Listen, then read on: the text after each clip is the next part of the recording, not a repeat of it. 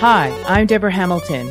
Welcome to my podcast, Why Do Pets Matter? Ten years ago, with my iPhone and a script, I recorded the first episode of the Ultimate Pet Resolution Summit, which chatted with experts about conflicts over animals. Our conversations were intimate, honest, and illustrated how disagreements over animals occur and how those disagreements can reshape people's lives and relationships.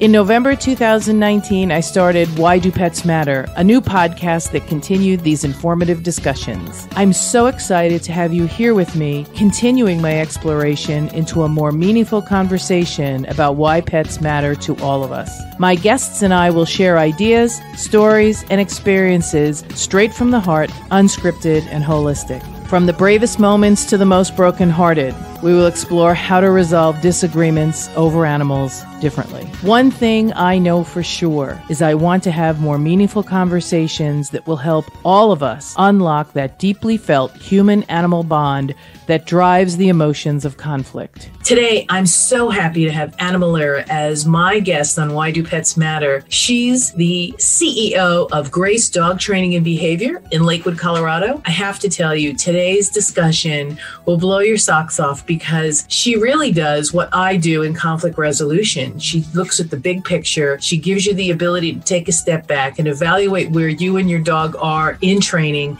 and gives you these incredible tidbits on how to get the most out of your training and your relationship with your dog that builds trust and confidence. Let's go see what she has to say. Hi, everyone. Debra Hamilton. Why Do Pets Matter? The podcast. And today I'm so grateful to have Ana Melara here. She is a professional dog trainer. She has her own company, which I love, Grace Dog Training and Behavior. She is out of Lakewood, Colorado, but we've been friends for an incredible length of time. And always, always, she trains with Grace, the human and the animal. And so today we're going to have Ana tell us what she's been up to and how the pandemic has really affected her business and the animals that she sees coming through the door, both the dogs and the people. So, Ana, thanks so much for coming here on Why Do Pets Matter. Hi, hi, hi, hi. I'm so happy to be here. I always love seeing your beautiful face and um, uh, I love chatting about dogs. I know that's what we do all the time, and we never run out of things to say. So it's real. I'm really grateful we're recording this for posterity. So we always ask our guests the first question, which is, "Why do pets matter to you, Ana Melara?" Yeah, and um, I, I, I have been answering that question year after year after year, and and the same answer comes out.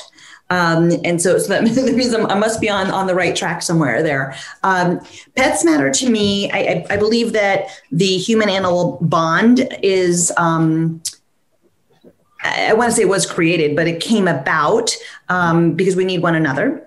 Um, I was put on this planet to help dogs get homes that didn't have any, and also um, for dogs that have homes to keep their homes. Uh, and and so so they they matter for um, uh, for our our souls. They matter for companionship. They matter for bringing out the joy and also shifting your path. If you're having a, a crappy day and and you get this smoochy little face all up in your grill like oh come on you know? How cool is that? So no day is too bad after that. Absolutely. I, I want to ask you a question because I love those three reasons for why do pets matter because we really need them up in our grill. We really need them in our lives to make those days that are pretty tough better. But also, I love that you said, you know, help dogs keep their homes um, and help dogs get their homes. So now we've just survived a pandemic, and I'm sure it wreaked havoc on some of your practice.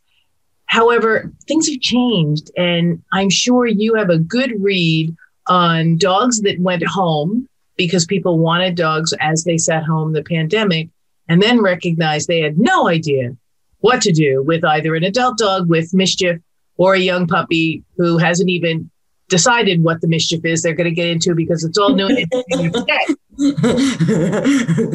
oh my gosh, they, they don't know. They, they don't know. They think things that they got. Can't even imagine. Yeah. So, so, you know, right off the bat, the pandemic because it came like boom, mad fast. And as far as as far as the world, we were just told like, "Hey, there's something going on." And we're like, "Ah, uh, okay." And so I I remember feeling like the kind of sinking in my stomach where I was like, you know, I make my living off of helping people in person. Yeah. Right. Although I was already shifting my business to serve people um, via uh, uh, video conferencing, um, video analysis, Zoom, that, that kind of thing, and phone calls, um, although I was already headed in that direction, the bulk of my business, I'd say a good 90% of my business was in person. And so, so here we get this, okay, stop seeing people and mask up and, you know, all this stuff. And, and I'm like, oh shit and right then, um, I had uh, I had just seen a bunch of clients that were like, "Yes, we're ready to buy, you know, a package for training to deal with this issue and deal with that issue." And then all of a sudden, they were like, "Never mind," and I was like, "Oh," um, and and and I'm a, um, a, a well paid trainer, so it wasn't like I was just going to be missing out on a hundred bucks here and there. It was we were we were talking about you know, yeah, yeah, it's pretty pretty major, and so so all of a sudden my income dropped about 75%. And I was like, oh my gosh. And thank goodness I'm at least stable enough to survive, right? Um, right. And so uh, a few weeks passed, and I started getting a little antsy, and I was just like, I'm not sure exactly what I should and can do. But I, I started to work, uh, you know, as soon as the pandemic hit, I started to work on let's focus more on video, um, uh, uh how, to, how to serve people via video. But again, it was it was it got slow and it got dry really really fast. Um, but then fast forward to about three weeks later, we all we all of a sudden started to see a lot more people go, well, looks like we're in this for quite a bit of time. Better time, you know, this is the best time ever to get a puppy. I'm going to be home, right? And I'm and I'm like, yeah, but yeah, but like, yeah, just a second.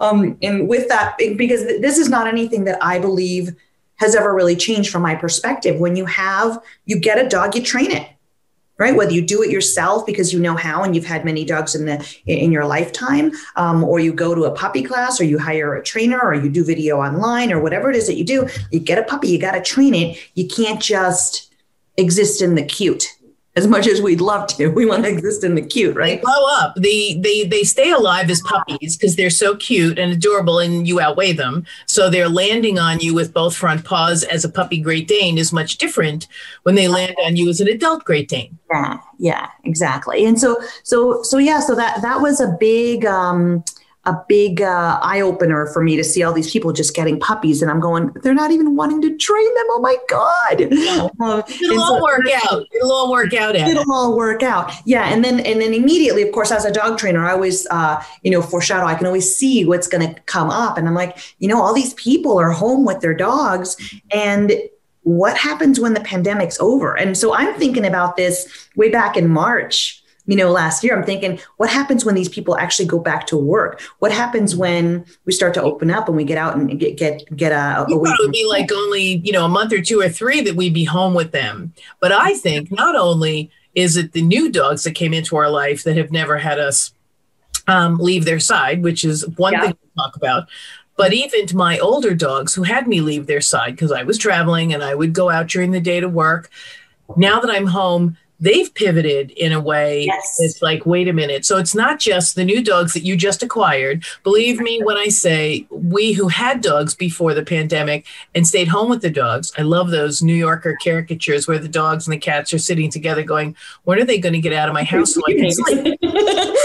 Exactly. And so so and so that to me one of the things that i recommended and I, and I don't know if you if you recall this but last year when the pandemic started actually was just a couple of days ago that we we were like a like just knee deep into the pandemic, right. um, I started doing a free Facebook Live every day for an hour and just answering questions. And and so so one of the things that I kept recommending to people was, hey, you gotta put your dog in a crate, give them something to chew on when you're home when you're going to go work in the garage, when you're going to go do some gardening, you got to put your dog and uh, confine your dog and teach your puppy and teach your adult dog that you're not going to be there all the time, even though you are yeah. for now. Um, uh, you have to do it. Set them up for success, which is what you're doing. Absolutely, absolutely. And and and, and one of the things that I, I try to remind families is that you can socialize a dog and you can also unsocialize a dog right? And it matters. Like like there, it's a it's um it's a muscle right? It's like um like if you're uh like the whole uh, you know fall off a bike or you get get right back on or it's just like riding a bike. You just you, you just get it uh, or you go back to it. Um and that you, you can get some of it back if you've done a, enough socialization on the front end.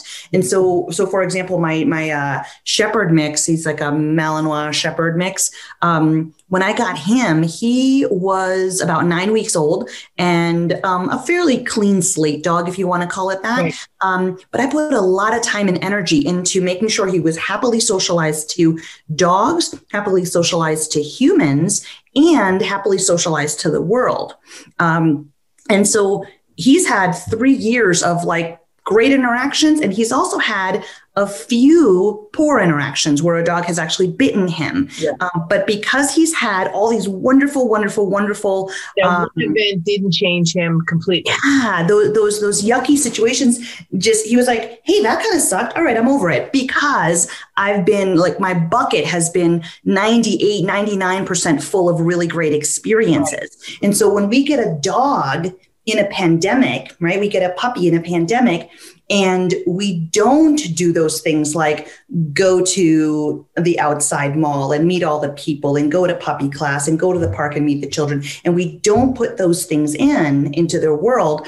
Um, and then we fast forward to six months later, a year later, and then we say, okay, now let's give it a try. It's a lot harder to make it happen. They Not have an empty bucket. They have an empty bucket. They have an empty bucket or a very low uh, bucket with very few human interactions, maybe just the humans that they have in their household. We, we see it a lot uh, too. I'll, when I talk to families, they'll say, um, oh, well, we have two other dogs. And I'm like, yeah, but your dog's only socialized to two other dogs. And they sort of be attached in a pack kind of thing. And then they don't really want to let anybody else in, which exacerbates the defensive posture of the puppy coming in um, or the older dogs who are there in the house. I, I, you know, it's it's interesting. I tend to want to walk when the garbage trucks are going by because they provide such entertainment of smell, noise, people. You know, people move by this truck, and it gives them a really good opportunity to to be experiencing different smells and sights and sounds. Oh, yeah, yeah.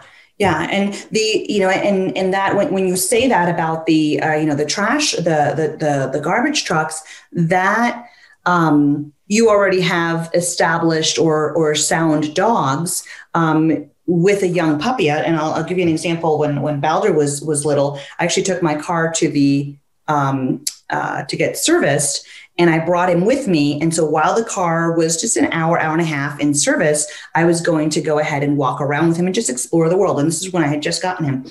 We came out and immediately right there, there were the train tracks.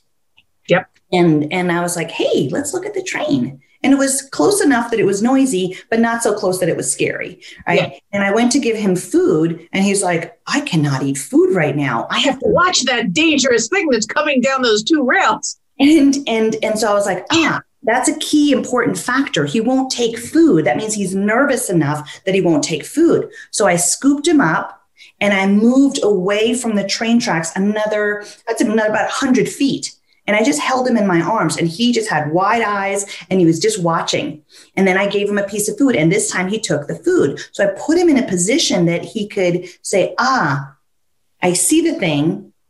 I'm safe in my mama's arms and I can have a yummy, delicious treat. And I kept giving him treats while the train passed. And that was a really wonderful experience for him. We don't want to force a dog, right? We don't want to force a dog. If I would have stayed where he was, it might not been as it might might not have been as comfortable as when I moved away. It, it really helped him to have a little more space. I know that a lot of people who are listening to this are going to want to hear more about that because I totally understand why you moved back. I totally understand why it was important for him to have a treat. But explain to people who are new with new puppies or who got the wonder dog who didn't need much training, but now post COVID is um, COVID brained. I actually have one now that's COVID brained. She was wonderful pre COVID. She's 10 years old. Now she's a monster. And it's simply, I think, because I didn't do what you did, which was have her feel comfortable in a situation that was uncomfortable for them or me. Yeah. The, the, so, so speaking of the comfort, there are a few things that there are two gauges that I like to use. One is food. If you if you're offering a piece of yummy food to your dog, now dogs are scavengers. Dogs love to eat in general, right? If you offer a piece of food to your dog and they go, uh-uh, no thanks, take a look at the surroundings. If a dog is happy and comfortable, they're going to eat, right? Just like us as humans, right? If we're happy and comfortable, we can eat right? If, if I had just been in a in a fender bender, right? And and Debra, you came up to me and we were like, "Hey, you want a piece of chocolate cake?" I'm like, "Are you freaking kidding me? I can't eat that yeah, right now." Really not. Not. My stomach is in knots. I really can't eat right now. Exactly. I'm I'm nervous. I'm anxious. I'm upset. I'm I'm still checking my body to see if I'm broken somewhere. Uh, my adrenaline's pumping. I don't. I, I can't eat food right now. And so it, it, it's the same deal for us. And so I use that as a gauge with dogs. I'll say, Hey, do you want this yummy, delicious piece of food? And the dog's like, Uh, uh I can't do it. Right. So that's my cue to go, all right, can we lower the level of distractions? Can we lower the level of scary out here? Can we give ourselves some distance? Can we ask you to do something that is less difficult? Right. That's one one key, right? So so food. If your dog can't take food, that means that the environment's a little bit too scary. The second one is can your dog perform a behavior that's really, really easy, like sit or give me paw, something very simple right? Um, if you say to your dog, Fluffy, sit, and the dog's like, I don't even know what you're talking about, right? You're asking for something that's easy in a difficult environment.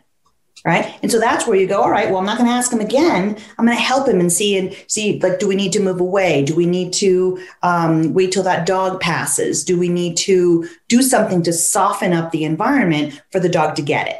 Right and then you wait for whatever that is and you might even see you know if you follow their eyes you might see what what it is that they're watching right so maybe you're trying to get them to sit at the door while you're trying to get out the front door and there's a squirrel in a tree and you're like fluffy sit and dog's like I've never even heard of that cue before. I don't even know what that means when there's a squirrel right there, right? Um, and then you wait, let's say the squirrel goes away and they're like, okay. And then you see that their eyes come back to you and you go, ah, I've got you now. Sit. The dog's like, oh, I can do that. Why don't say so? Right? The dog sits, you slip him a cookie, the dog ate the cookie, cool. We're we're we're golden to move on yeah, to the next thing. Yeah. You know, it's interesting you said that because as I'm sitting here thinking about all the people who have dogs now that may be a little more reactive than they would have been, um, having that permission, and you know that people really want their dogs to do everything every single time. I want them to be bomb proof. And you and I both know dogs love to please us. They want to please us more than, you know, well, some of them. I have Irish setters, so they are the Jerry Maguires of the dog world. So show them the money. But if I showed them food, they would do things. But I, I want to really articulate that it's okay to take a breath. It's okay to look around and see why they're not doing what it is you're asking them to do. Um, yeah, big, I think it's a very important piece in the human animal bond because I, I believe we break the bond when we force the dog to do something. Yeah. Right. And so if I if I say to my dog, Fluffy, sit, and my dog doesn't sit, and I know and you're a pretty reliable sitter, there's got to be a reason. Right. But if I if I know that the dog, if I, if I ask the dog to sit and the dog doesn't sit, and then I get mad and I go, hey, you sit, right? Now I'm adding more stress right? And then the dog still doesn't do it. And then I go ahead and I push that bottom down and the dog sits down like, yeah, you know better, right? I know he knows, right? That's not necessarily true. Like they might know it in their head, just like I know how to eat chocolate cake, but if you're going to offer me chocolate cake, after a car accident, not happening. And I don't want it, right? Um, and uh, or if you ask me to, you know, uh, you know, right after a, a, fender bender, if you said, "Hey, could you show me how to balance a checkbook?" I'm like, I know how to do it, but I, I can't even think about how to do it right now right? It's a skill that I, I might have, but I can't do it in that particular situation. And so, so I think it is very important that we recognize that our partner, our dog, is is able to do the thing. And when we recognize that they're not okay in that situation and we serve them by helping them, by moving them away or lowering the distraction levels or supporting them with, you know, treats and food when they're doing something right, you're strengthening that animal human bond. And therefore, your dog starts to trust you more and trust you more and trust you more. And so the bond that I created with Balder, and you know, I was so lucky to have him as a baby, baby puppy with all the knowledge that I've had for all these years of doing training, right? So I got him in what, 2017? 17? 18, something like that. So he's three and a half ish now, whatever that year is. And so when I got him, I made sure to make this connection, this connection constantly, right? So if I had him in a group of play and he got kind of clobbered by another puppy, like they're just, you know, gangbusters rolling around and everything. And then he would come up out of out of like a pile of puppies and he'd just look up at me and I would dive in and scoop him out and go, I got you. You all right? And he's like, whew. Thanks, mom. Yeah, thanks, mom. And then I go, You ready to get down? Okay. And I put him right back down again. And so somebody else might say that that's coddling. But what I'm actually doing is I'm building the connection with this dog. I'm telling him, when you feel a little bit overwhelmed, you look to me. I'll get you out of it. Right. Not suck it up, buttercup, figure it out yourself. Go kick some ass. Right. Yeah. Not what I'm telling him. I'm telling him, look to your mama. Mama's going to save you. I totally want a pansy ass dog. Yeah. Right. I want a dog that's going to be like, yeah. Right. I want to, I want a dog that's going to be like, you know, like, oh, a fight. I'm going to go that way. I'm going to go see my mom.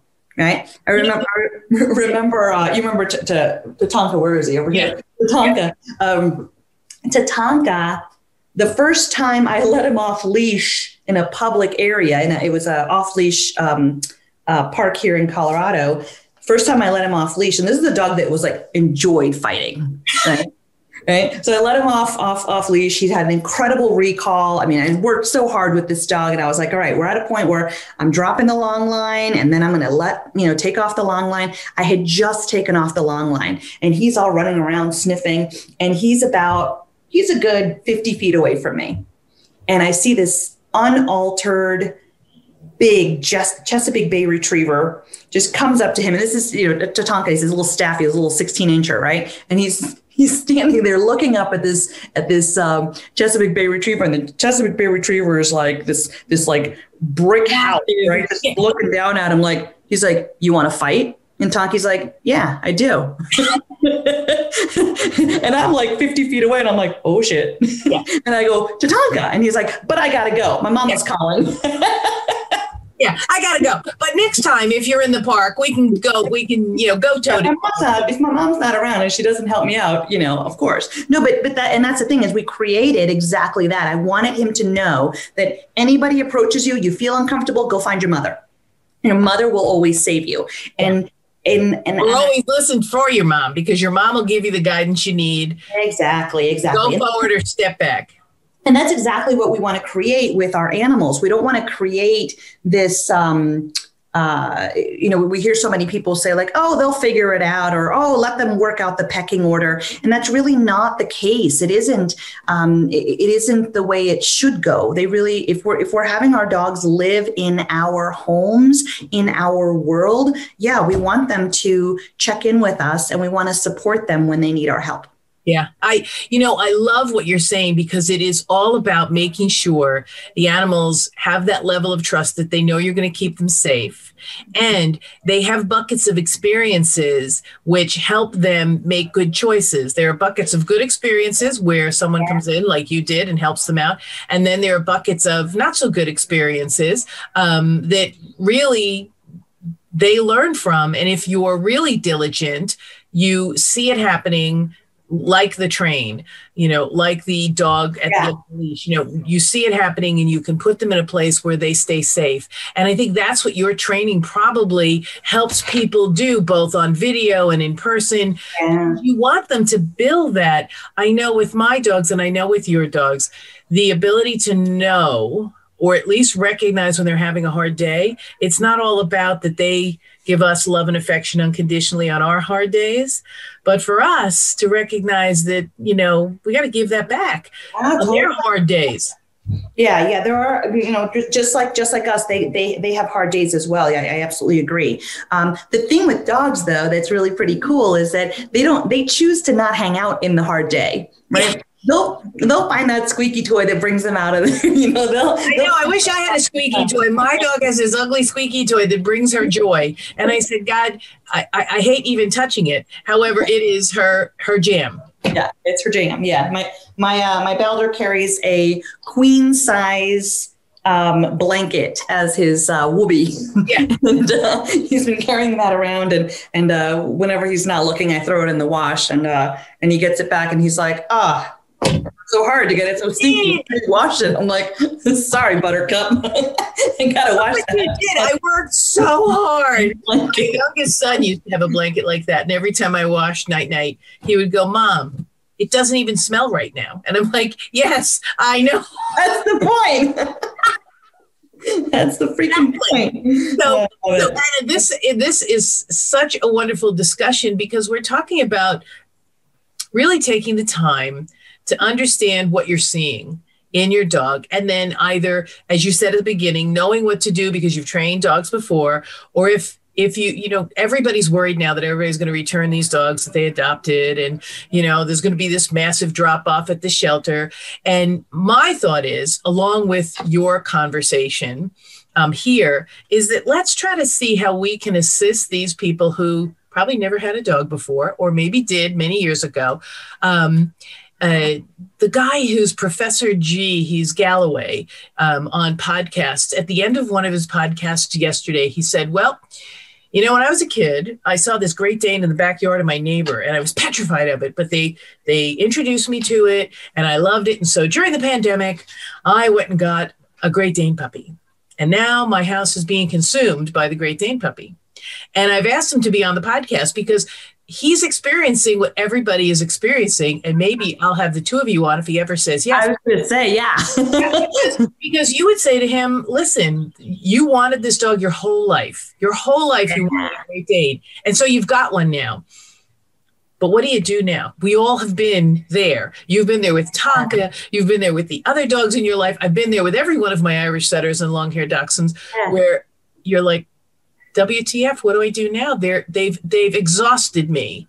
I don't yeah, know what to do. Yeah. I think a lot of people are exhausted, A from the pandemic and B from not knowing what to do and not knowing where to go. Yeah, yeah. The not knowing what to do is one thing, um, and but the the the not knowing where to go. Um, there's so much out there in the world that we get guided and pulled and pushed in all different directions. And and you know, people talk about being um, you know alpha, and people talk about you know dominance, and and uh, people talk about oh, I don't want to just give cookies. There's all all all, all kinds of uh, uh, ways that you can go as far as training. And when it comes down to it my perspective on training anyone, dog, cat, uh, human, know, anything, any, you know, lizard, I don't care what it is. If you're gonna have a relationship with another living being, do it in a way that you can both enjoy it. Right. Yeah, so love and respect, love and respect, love, trust, love and respect use the food, use the play, use the privileges, use the affection um, in order to build that relationship. Think about how when humans meet humans, whether you're dating someone or or you've met a new friend, you often do it over food. Right? We get together for dinner, we get together for coffee, we get together for a snack, we get together for hors d'oeuvres, yeah. right? And then we do activities together right? Whether it's to go to a movie or let's go for a hike together or let's go to, you know, let's go dancing. So whatever it is that you're going to do, it's an activity that you do together. And the, the, we we can do the same thing with our with our animals. We can say, all right, I'm going to go ahead and go to this tricks class and I'm going to go to this basic manners class and I'm going to go for a hike with my dog. And so the more things that you do, the more activities that you do and incorporate food, lace food into all of that, you're going to have really, really lovely outcomes. Yeah. Right. And if you don't feel like you're doing the right thing, reach out to um, someone like myself. Like you can go to uh, like AP. You, you, mentioned my my credentials earlier. So uh, APDT um, is the Association uh, of Professional Dog Trainers. You can find those on the internet. Yeah. yeah. and so you can go online and actually look for trainers that are um, are members there. Um, the uh, IAABC, which is the interna- international um, what is it? International Association of Animal Behavior Consultants. Um, and so again, there you know the trainers are listed there. Um, there's a KPA, um, which I'm not a am not a KPA grad, but uh, um, uh, Karen Pryor Academy. They have a lot of lovely trainers as well. Um, so anyway, there's a whole bunch, and, and you're, you're you're welcome to reach out to me, um, uh, whether it's on Facebook or um, or directly uh, through my website, which is gracedog.com. That's G R A C E D O G.com. Um, you're welcome to ask me. I'm, I'm happy to uh, refer. Um, but I think that they that when you are looking at relationships, you have to have food and fun together. Those are the two really, really big ones. When you're feeling safe and you're feeling happy and joyful, it's easier to learn, right? For both of you. Yeah, for both of you, exactly. But if you're feeling fearful, if you're feeling the pressure, if you're getting yelled at, if you're getting physically pushed around and you feel unsafe, you're not going to learn very easily. Yeah. Right? You might you might learn out of fear, right? Because you don't want to get hurt or yelled at. You want to do the thing. That's that wrong bucket being filled. Exactly, exactly. That's actually depleting your bucket. You're absolutely yeah. right about that. Yeah. yeah. I mean, for me, it's so important for people to understand that if they ask for a trainer or go to a trainer, first of all, and I know you're going to bear this out for me, Ana, if you don't think what they're doing is correct for your dog, bye bye. Speak up. Speak up. Yeah. Because quite frankly, you know, there are ways to train dogs, there are several ways to train dogs, and, and not everybody's way is correct. And so being able to understand what it is you want to get out of the training, you want a great companion who trusts you, who loves you, who you love and trust. Both yeah. of you have built this relationship um, that will really make things so much better for everyone. Yeah, yeah. The um the when you're seeking a trainer, look for someone who is following the science. Um, so a science based um, trainer. We we are we know and it's proven that um, food and safety and joy actually work better for training. Um, does uh, fear, does punishment, does shock, uh, uh, hitting, choking, does that kind of thing work? It will suppress behavior, but it's not. Um, uh, it, it's not a it's not a reliable method, and it's also not a method that feels good in general, right? In, in general, to me or to the dog because mm-hmm. I don't feel good choking my dog, and and I don't feel good. You know, I remember when I went to obedience class way back in the 80s uh, when I had my first Irish setter, they would let us let our dogs go to the end of the leash and then whip them back so we could detach their heads from their bodies, uh, which is a is a possibility when you do that. Uh, and I always thought that that didn't make sense to me but just so I can be completely transparent everyone, I did it because I thought that that person knew more than me um, about training my dog. And now that I'm 30 years down the pike, and Ana will absolutely back me up on this, you know how you want to train your dog. And that's not saying that, you know, maybe that's what you want to do. And, and we're not saying that, you know, that's something that we would never do. We probably wouldn't do it, but really make sure you feel comfortable in the situation you're in, either on video or in person um, or on Facebook Lives, because a lot of trainers, including you, Ana, have had wonderful, especially at the beginning of the pandemic, discussions about how do you handle this conduct? How do you handle what's going on?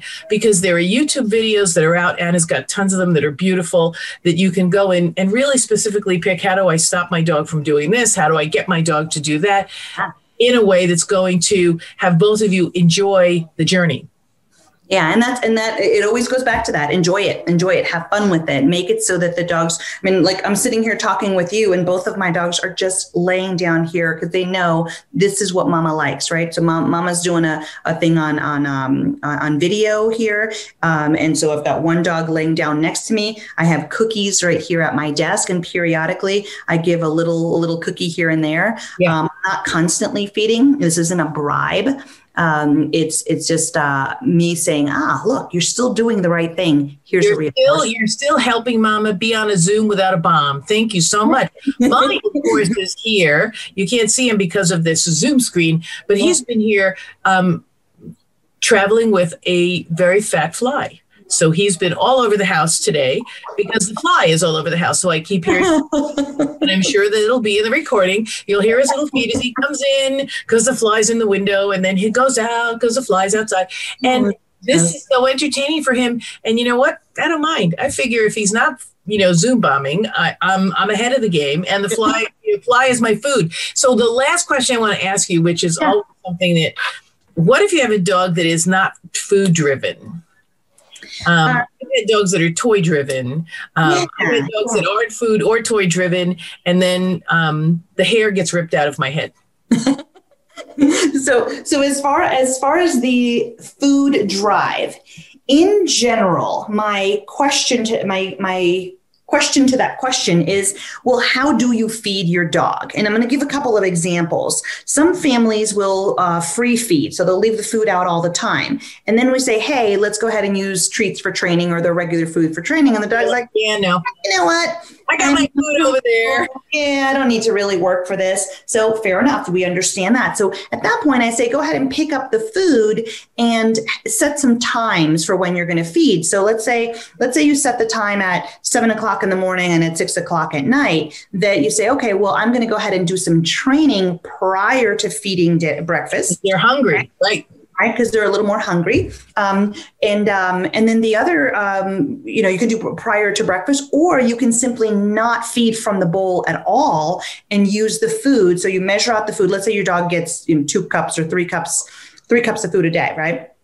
Now you measure out that uh, three cups the night before you leave it you know and you got it in your treat pouch or whatever uh, and then you start training throughout the day. And then you get to the end of the day and you've got like a you know a half a cup or three quarters of a cup left over throw that in the bowl or a toy or whatever for them to get it out. And so th- that's that's a general um, answer to that question what if my dog isn't food motivated? The one other piece that i throw in there too is well what are you using for food right? And so if you're using something that's not really quite delicious, right, how much is your dog really going to want to work? Yeah. Right. We also have to look at um, go back to the uh, reinforcement history. What have they been reinforced with? Right? Who is your dog? Right? Who is your dog? Will your dog will your dog go, ooh, food? Right? I'm really, really full, but ooh, food, right? Who is your dog? I have a few of those, but I don't yeah. have one now. yeah, yeah. And so, like my shepherd, uh, my my shepherd Mally mix, right from the beginning, he was just like, you know what, food, I don't really care that much about it. You know, when he's on, on a raw diet and everything, I'm like, ta-da, and he's like, eh, yeah. I'll wait. And you can see his ribs too. And I'm like, damn it. I'm like, you're challenging me to do something else. So what do I use? I use high value food, yeah. right? Which he likes to work for. Um, I also reward with Tuggy. I reward with Fetch. I reward with um, Snowballs. Yeah. Right. Oh, so whatever, yeah, I have to adjust. I have to course correct and go. Well, what do you want? And so I've figured out he likes to play with the hose. Right. So we do training and then we play with the hose, and we do training and then we play with the hose right? Um, he likes to catch snow, so I'll make snowballs and, and throw them at him. I'll shovel and throw it in the air, and he like jumps up and bites at the snow. So I have to find what's reinforcing to him. He loves to play tuggy. He loves to play fetch. So we, I have a bunch of different reinforcers that I can use with a non-food motivated dog. I, I love that because that's what I've been doing with my young dog, who food is like an enigma to him. I can count his ribs as well. Um, and you're right. I've I've tried almost everything. Uh, I haven't been successful, but I'm still in the hunt because I've fed him in the morning and then at night, uh, taking his food up after about 20 minutes, and then he just doesn't eat for the rest of the day. And when you put it down at night, he goes, "Yeah, maybe not." And so you can hmm. count his ribs, and you know the the neighbors will call animal care and control and say that I'm abusive to this dog because you can count his ribs. However, trust me, he's just a pain. And this has been so much fun. I know we're going to get back together again yeah. and again because everybody's coming out of this with so much anxiety, I think, and so much love for the pet they either had before the pandemic or the one they got during the pandemic, and they want to live their best life. So for me, what I heard you say is that, you know, you need one another. And so that need for one another should have you seek out someone like Ana who's going to help you um, keep your dog in your home, maybe get a dog for your home, and build that trust and that deep bucket of good experiences, even in the face of bad experiences? What can you do to back it up, to take a breath and have a good experience when you notice your dog is having a bad experience? So today has been such so educational for me as always, Ana, because I love you. Tell us again how they can get in touch with you if they want to check in. Um, you know so many uh, trainers that might be in their area, or because of all the online stuff we're doing now, they can even avail themselves of your wonderful service. So tell them again how to get in touch with um, Ana at Grace Dog Training and Behavior. Yeah. So um, the our website is gracedog.com. That's G R A C E D O G.com. And you can just click on the uh, contact us and you'll send us an, an And that'll all be in the show notes, everyone. So don't worry if you don't have a pen, you're driving down the road. Just go to the show notes and you'll get all of Ana's connectivity because she'll be back and we're going to talk about this because believe me, people with the training that Ana has to help train you, train your dog, this is a, a wonderful cycle uh, that we all have to go through, whether our dogs are older, younger, new, old, because this has been such a difficult year for everyone.